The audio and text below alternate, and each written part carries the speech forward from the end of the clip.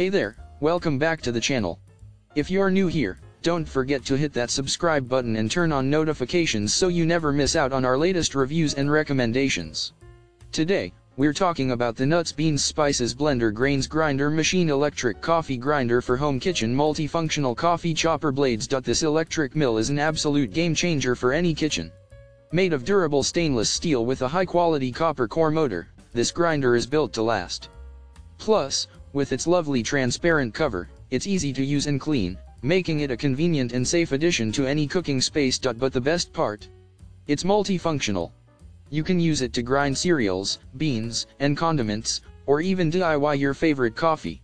It's the best life assistant you never knew you needed. With a touch switch for easy operation and temperature control protection, this grinder is not only efficient but also safe to use.